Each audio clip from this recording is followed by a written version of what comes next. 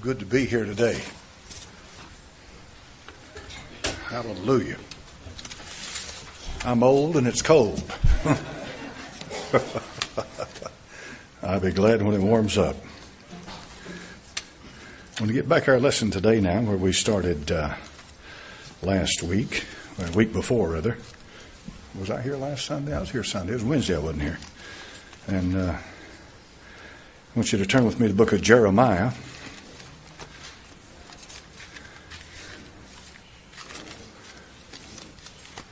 Chapter number one.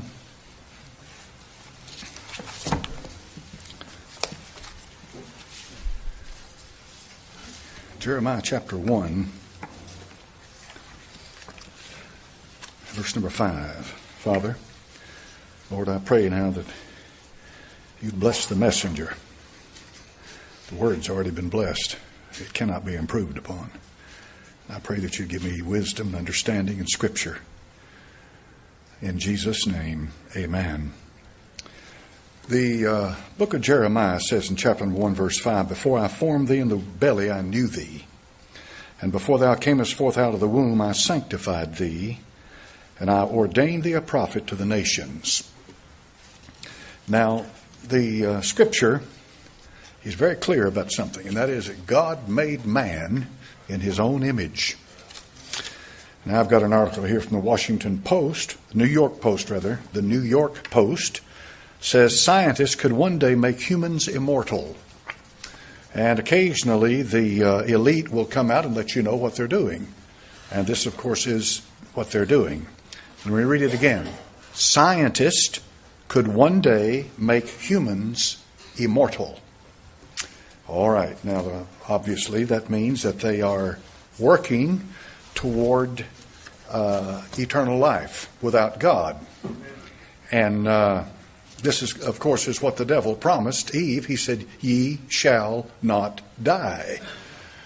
And of course, Satan's a liar, has been. He's the father of lies, created lies. And the Bible very clearly teaches that when Adam and Eve sinned, they died spiritually, and then Adam died 930 years after his creation. So uh, either God is true or the devil is true, and of course you believe God, and I do too. Last week, I mentioned now, I started into the biological cellular structure of the human body. I'm going to give you this on uh, just piecemeal here and there as we deal with the issue week after week after week. But um, some of you, fresh out of high school, or some of you in college right now, or fresh out of college, you may have had this, a lot of this material, so it's maybe simply a refresher for you. Some of you, it's probably brand new. And uh, you need to understand something before I go any further. There's an, there's a, there is an enormous amount of research being done right now on the uh, cellular structure and the workings of the human body. Uh, it's the matter of replication and uh, the matter of uh, the uh, the they're trying to go in and now they're trying to take uh, a cell from a human body and they're trying to coax it into becoming uh, some other part of the body. I told you before that uh, embryonic stem cells uh, come into existence about five days after fertilization. Five days in what's uh, in uh, in a uh, in a little sac, and they take the if they can take that cell out of that sac, they can uh, with a stem cell, it can become any part of the body. And that's quite a remarkable thing. Uh, it's called a blastocyst. And inside that are these little cells. And this is right before they become, uh, uh what do they call them? Specialized. Before they become specialized cells. Now, let me, uh, let me, uh, try to uh, put this together in a sense to where you and I both can understand it. They say that your body is made up of anywhere from, it depends on who you're reading and the source you get, anywhere from uh, 20 to 60 trillion cells. They're about to arrive at a figure of about 37 plus trillion cells.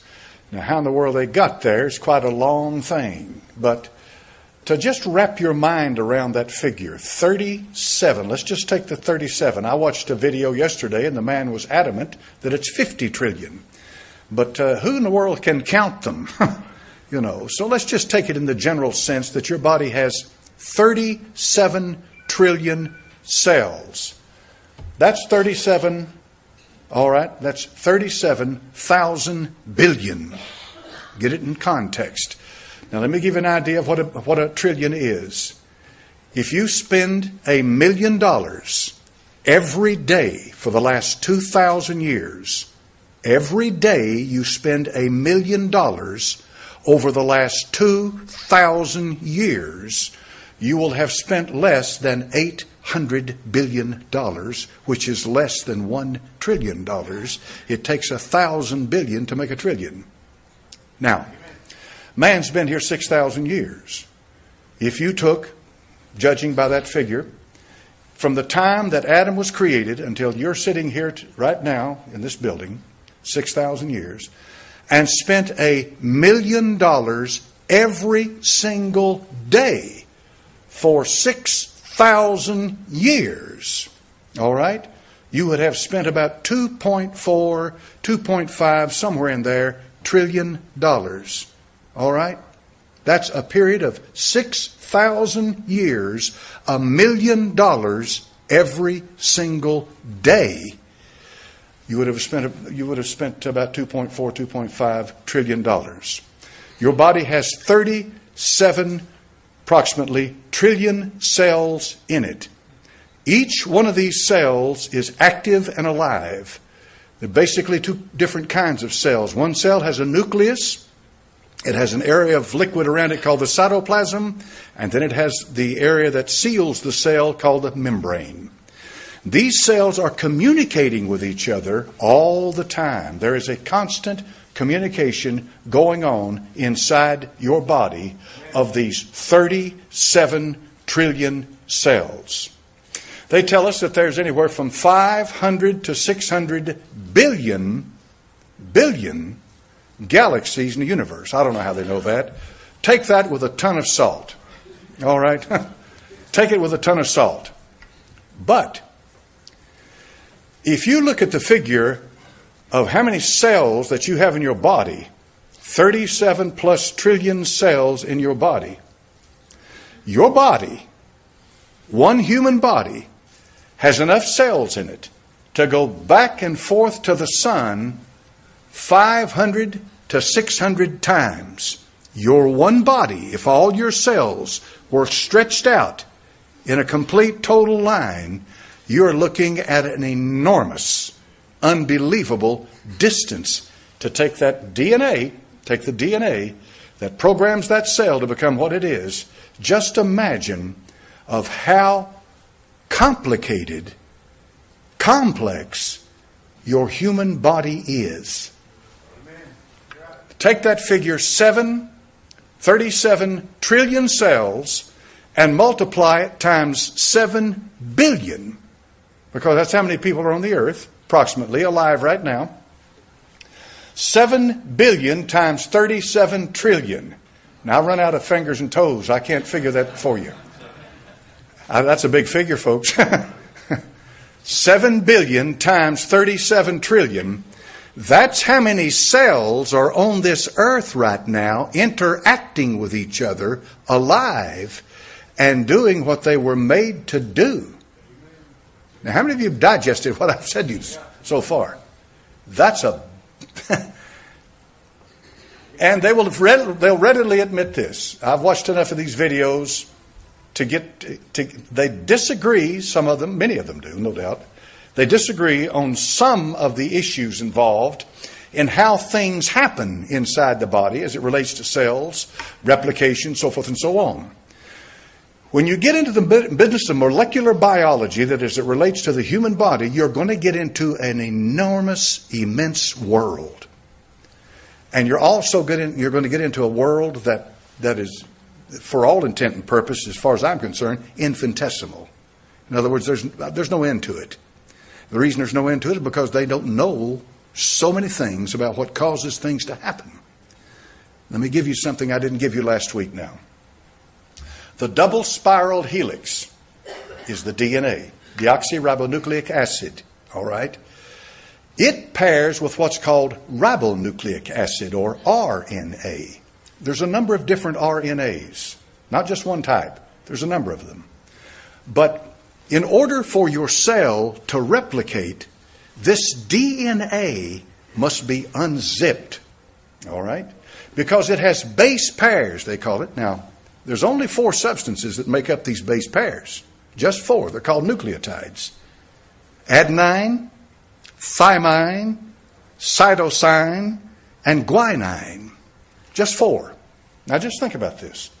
You've got trillions of cells in your body, but here are just four nucleotides they have a they call them uh, they call them a nitrogenous base or a nitrogenous nucleotide. They have plenty of words, names for all this stuff, so they can communicate with each other. But they are joined like this. Okay, they're joined like this. They come together like this. Now, four of them. All right. They always connect with their counterpart, and their counterpart is adenine with thymine, cytosine with guanine. Or it can be thymine with adenine and guanine with cytosine. In other words, you may have you may have you may have uh, you may have thymine here and adenine over here, but you move on down and you'll have it reversed. But it's still the same. It's always they're connected with the same with with their counterpart. They don't cross over. They're connected with their counterpart, all right? Now, there's only four of them. You've got four of them. And they're connected with a very, they call it, I don't know what the word, is, what's the word they use? Uh, not a strong hydrogen connection. But they are connected with a hydrogen connection. And that's what this enzyme helicase does. It goes down through there and it splits that. It causes them to come apart. Causes them to come apart. You see, it's done its job.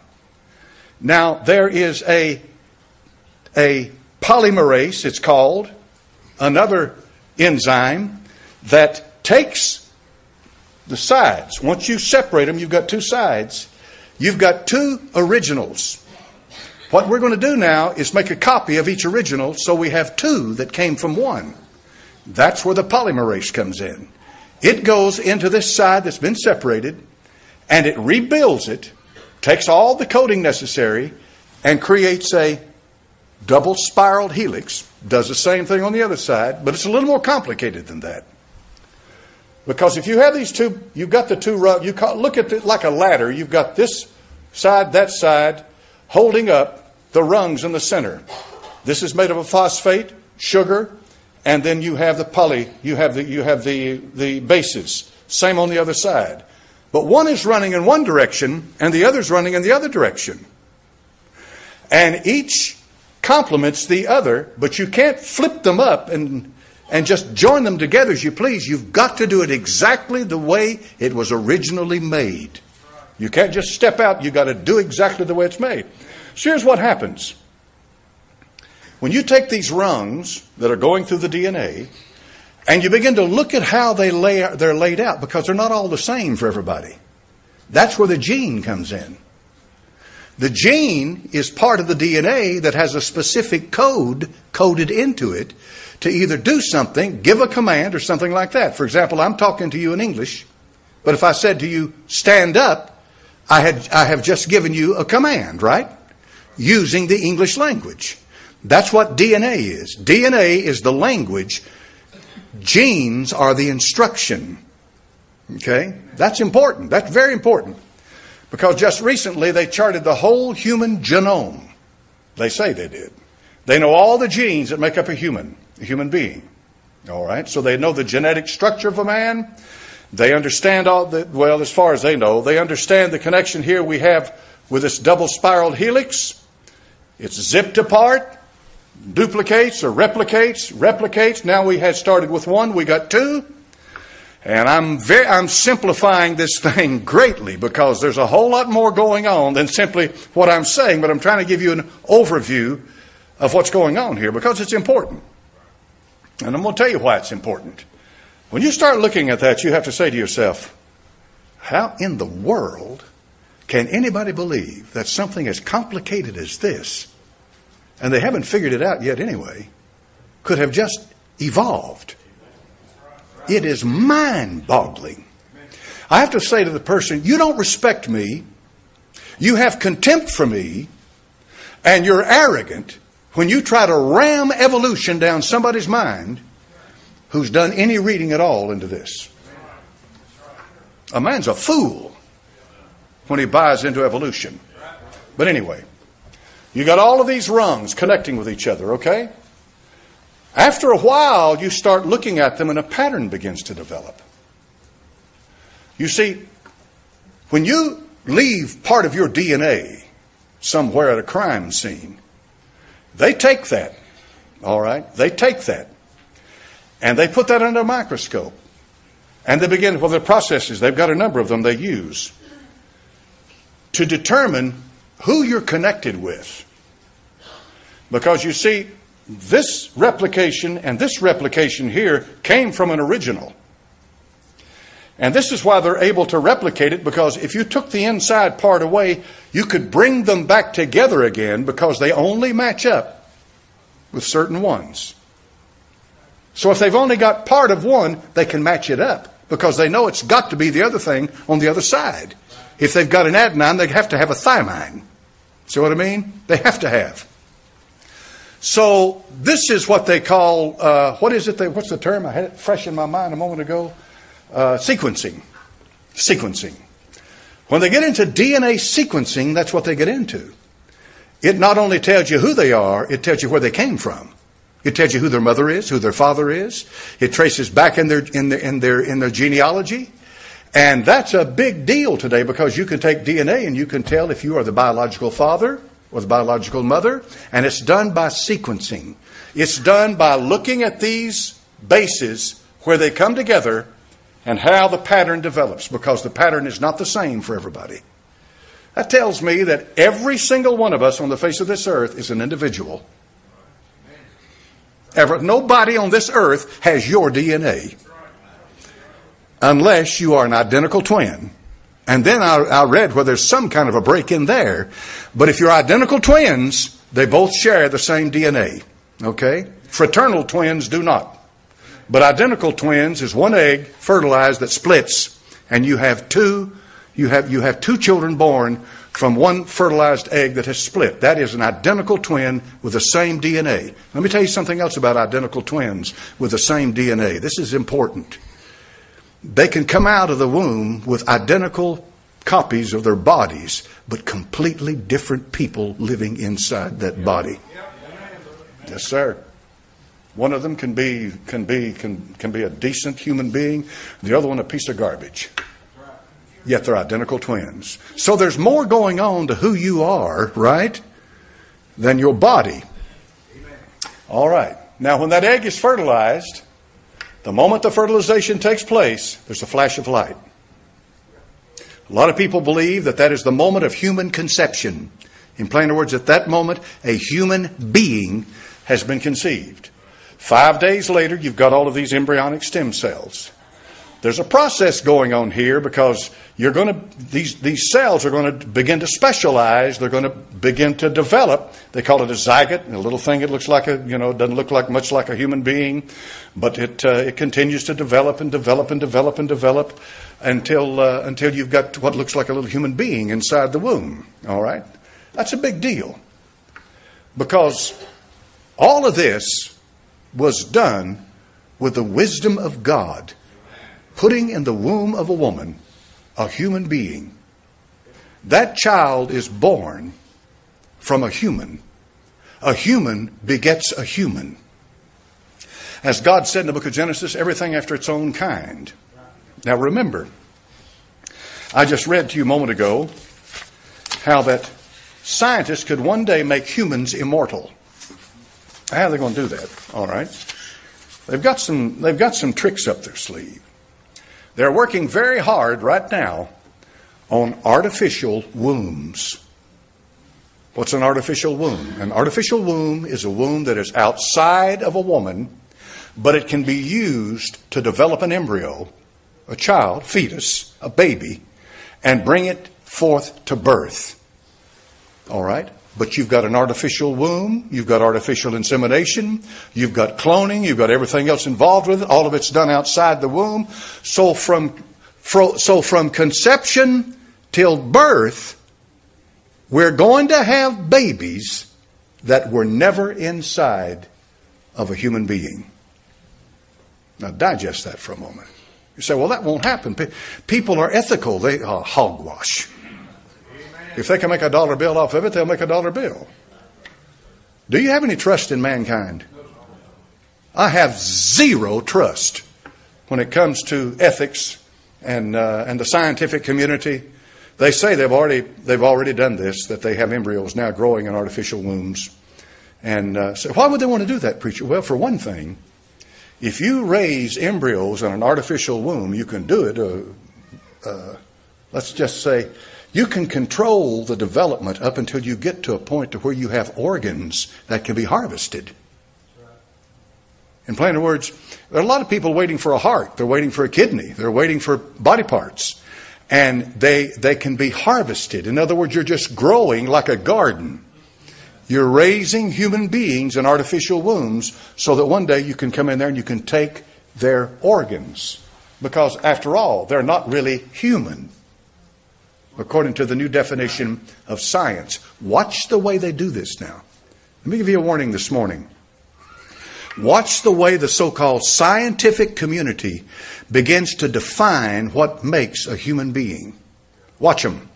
Because they will, their motive in doing that will be that they can raise human, I call them a human being, whatever, but they're not liable for a murder or for killing because it's simply a crop that they're raising. All right? There's a lot of ethical issues involved in this. But this is the brave new world that you're living in right now. Let's say you have a couple and they want to have children. They want to have children. Let's say, for example, you have a couple of sodomites. They want to have children. Well, obviously, they cannot have children. The reason they cannot have children is because it's unnatural. There's no way under the sun that you can make it anything but that. But they want to have children. So what do they do? They appealed to the scientific community that they will take the, uh, the, the, the, the, cellular structure, like the embryonic cells.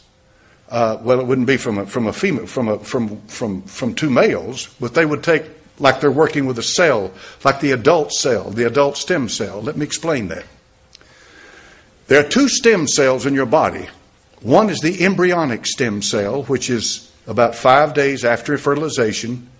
That can be become anything. But now they're working with what they call adult stem cells, and this is this is being done so they can take a specialized organ of the body or cell in the body and they can coax it into becoming a stem cell again.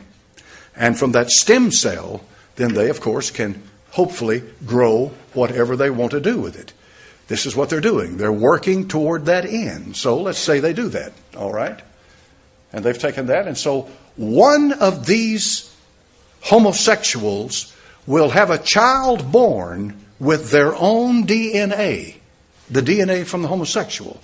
You see what I mean? Like he was a biological father, but it's all done without a woman being involved. This is where we're headed.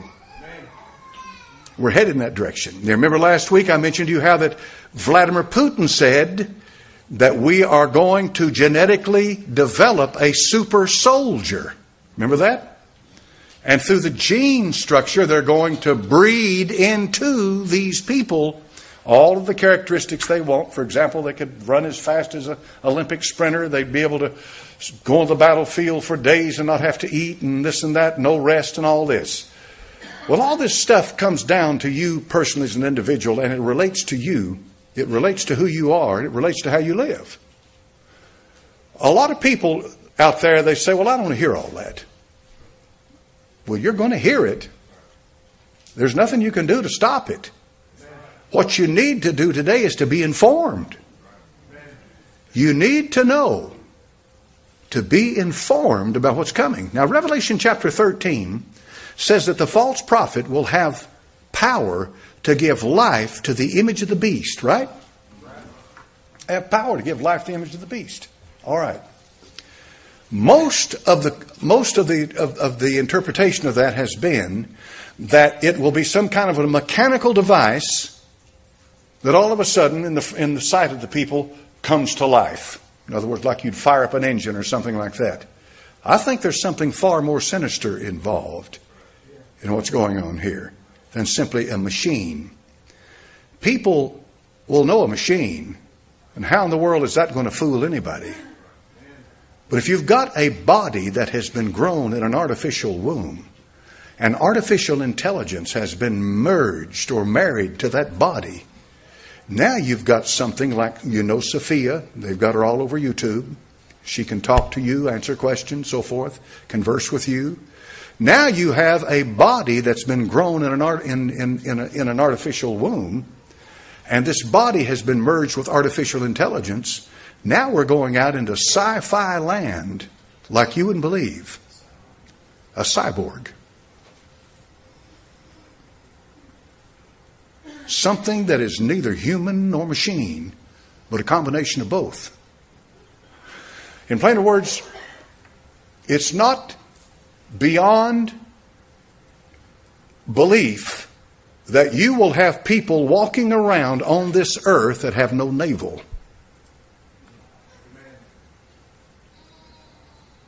No navel. They were created in a test tube and raised in a in an artificial womb.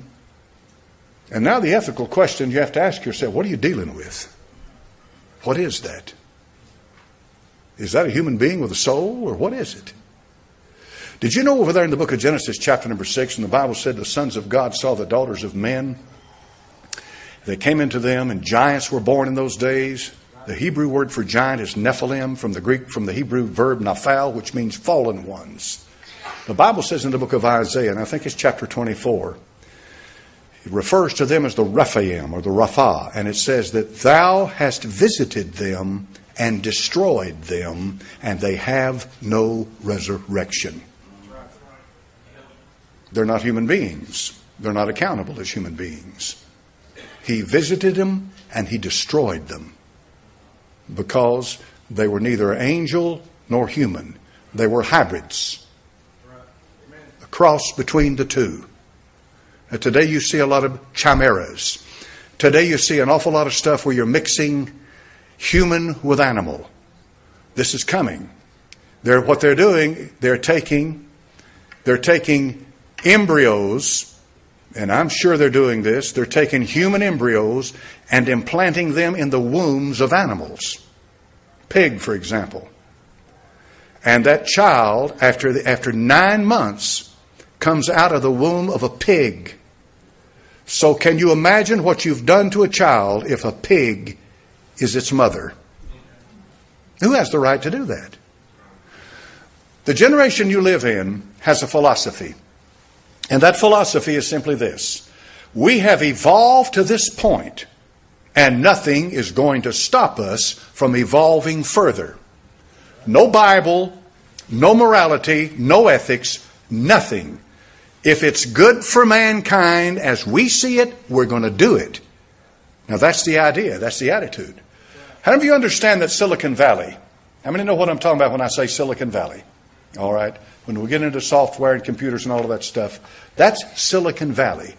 How many of you realize that there is a philosophy in Silicon Valley that is completely different from you? It is so foreign to the way you think that you, you, couldn't, you wouldn't believe it. In Silicon Valley, they have orgies.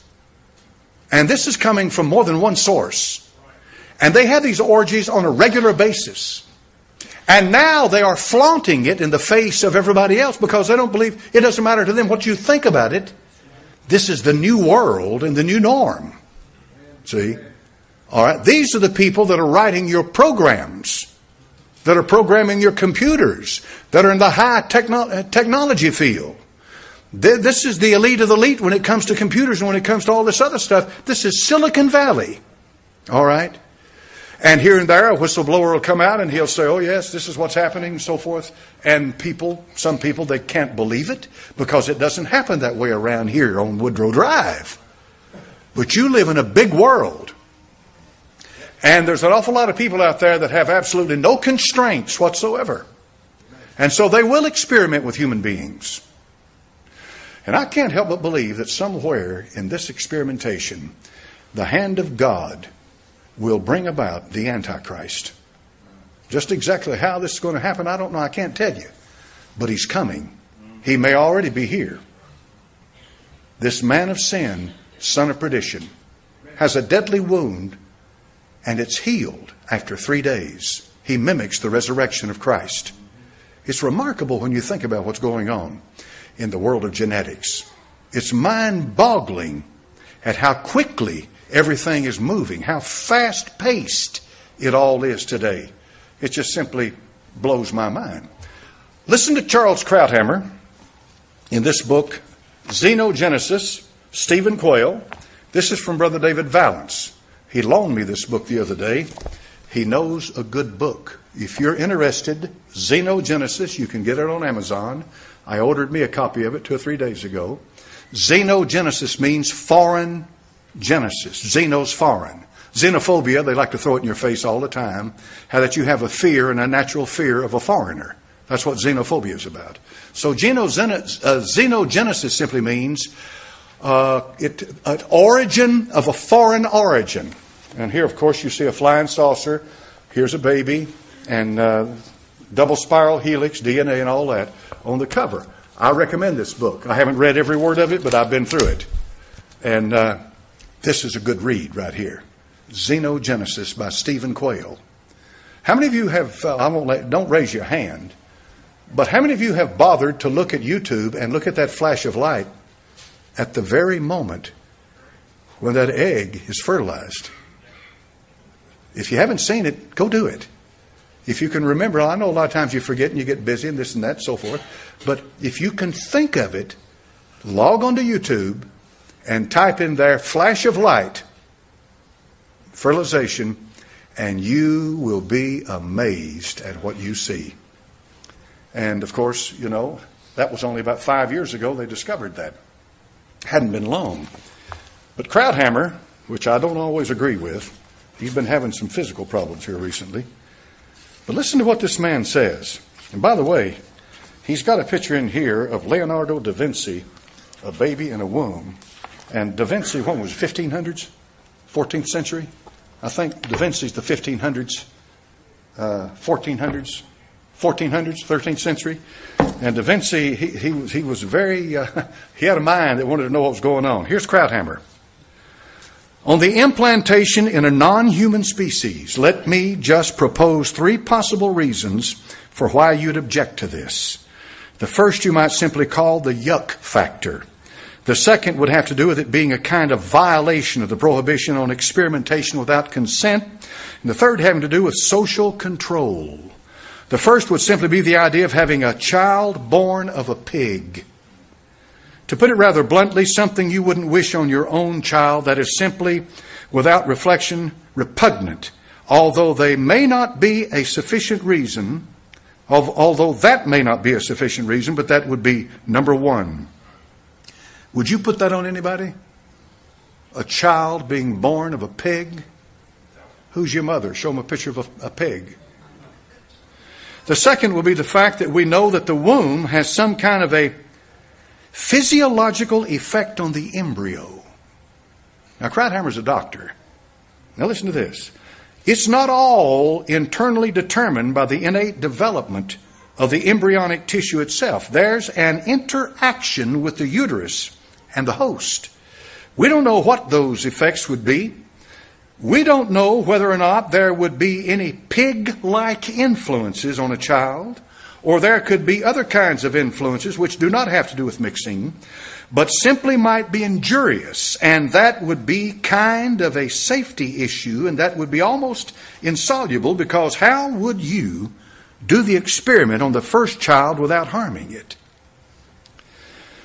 The third, I think, is the most interesting because it generalizes and it goes like this Why do we want the embryo to be housed in its mother? Now listen to this man. One of the reasons is that it creates an innate connection between the child and the mother. And the mother becomes uniquely protective and attached. That's human nature. It's even animal nature as well. That even applies in a surrogate mother. And we saw that in cases where the surrogate refuses to give up the child. That connection is immediate, it's innate, and it's very powerful. And the reason it's useful, it's also human, and it's required is because the child is entirely unprotected in the world, entirely defenseless, and by being housed, if you like, in the womb, it acquires a protector instantly, permanently, and indissolubly. Once you break that connection by placing it in an animal, which would be the first stage of perhaps placing it in some kind of artificial medium, in other words, a artificial womb, in the farther future, that child remains defenseless, and the social implication of that are that it could then become an instrument, a possession of whoever controls the medium, the animal, or the official womb. See what I mean? In other words, you create a thing unattached to any human and therefore subject to complete social control by the state, by the company, or by whoever is doing this. So it'd be very interesting as to how the Supreme Court would relate to someone like what kind of rights would they have, you see? You were born of a pig. It's not the mixing or the yucking that's at issue here. It may be severing the connection between the child and the mother, which is a way of protecting that child by giving him a belonginghood to someone who will care. Once you put him in an animal, which is a thing for these purposes, or a machine, which might happen in the future, you create a completely atomized and defenseless creature, and that opens the way to all kinds of tyrannies, social control, and lack of autonomy, which we would not want. If you create an industry in which you have these embryos being carried by non human carriers or in machines, artificial womb, you can make limitless production of these, and you're going to assume all of them are going to be lining up outside for adoption? Of course not.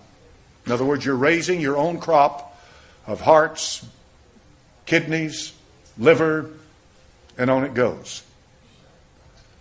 When that happens, then you're going to look at your society and you're going to say, well, I'm a real human being, and this one's not. And it's going to have profound psychological effects on humanity because it's going to take another step down the road. Charles Darwin dehumanized you. If you believe in evolution, he has reduced you to a pig. If you buy into Darwinism, your humanity is gone. Have you ever noticed this? When I was a kid, we patted our dogs.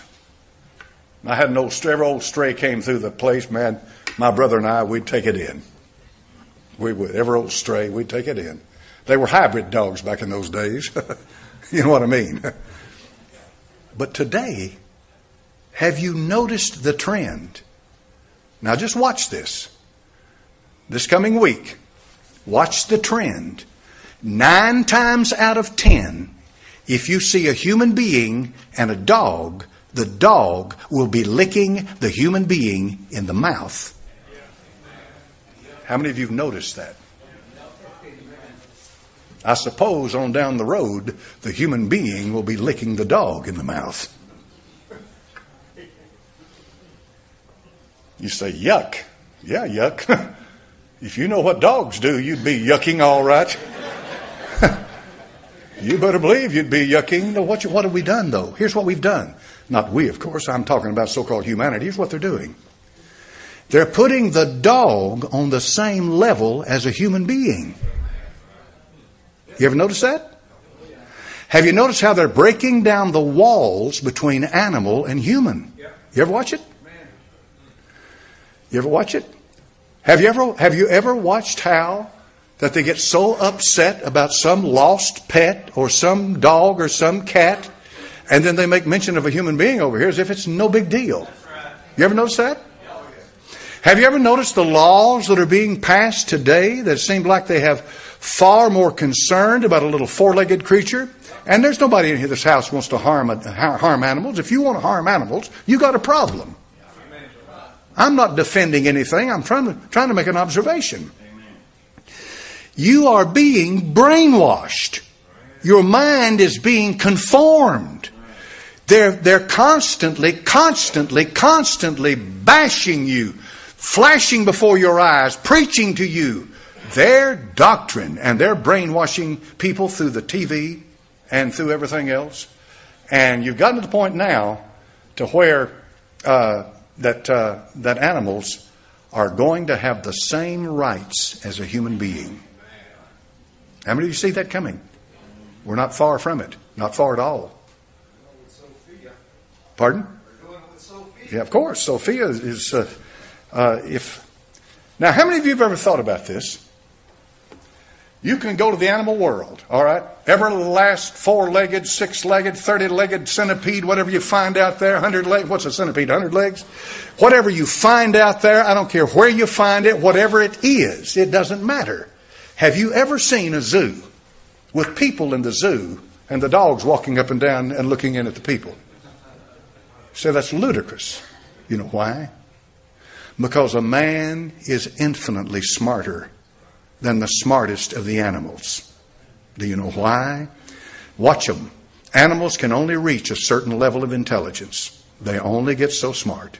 And it seems like the smartest of all the animals can only rise so high, and that's it. There's a, there's a barrier they cannot cross. But a human being, your mind begins to open up, it begins to expand, and as God shows you, you can learn more and more and more and more and more. We take things today as old hat that 150 years ago would have blown people away. 150 years ago, nobody would, you start talking about DNA, genetics, and all of that, they know what you're talking about.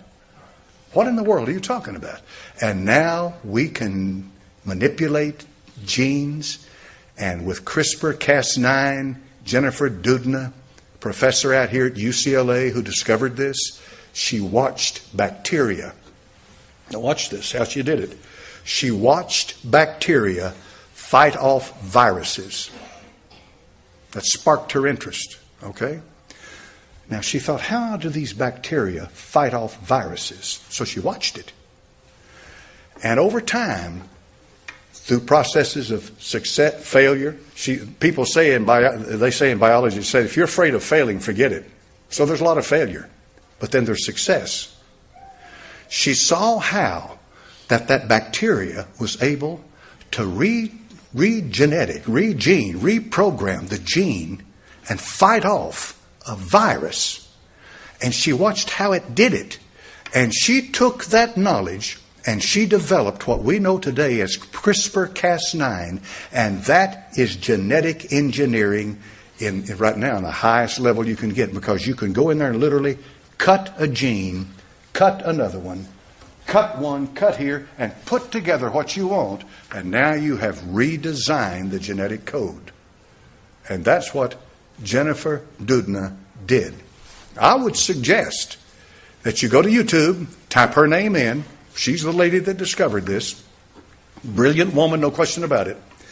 And listen to her as she lectures the scientist where she started from, how she got there, and the potential for what she's going to do with CRISPR Cas9. And it'll blow your mind. And it's here right now. I've talked to uh, a number of people in the medical profession field, and uh, some of them I can tell by what they by what they say that they haven't been reading because it's so new. They're not up on it. They don't know what's going on with CRISPR Cas9. The fact of the matter is that when my wife came with Guillain-Barré came down with Guillain-Barré syndrome a few years back. I talked to some MDs, and they vaguely remember reading something about it in their medical textbook when they went through med school, and some of them didn't have a clue. That's not being critical, not a bit. That's being observant. There is so much stuff out there today that one man cannot keep up with it. Can't do it. You can't do it. I told my cardiologist, I said, I'm having a, I'm having a cryonic, a cryonic ablation done to my, uh, to my uh, kidney. A cryonic ablation uh, done to my kidney. He said, What's that? That's not being critical because he's an outstanding cardiologist. He's a heart doctor, see? No one man can keep up with all of it. I'm trying to tell you that there is such an unbelievable amount of information available to get into this stuff, and I'm trying to take what I think is relevant and give it to you and show you where it's leading. And that's what we'll get into next week, Lord willing. Show you where it's leading, show you how it affects you. That's what's important. That's my responsibility as a pastor to minister to my generation, the generation of 2018. Not the generation of 1950, the generation of 2018. Father, bless your word. Bless the folks that have heard it. I pray you'd meet with us in a few minutes as we come together and worship your holy name. In Jesus' name we pray.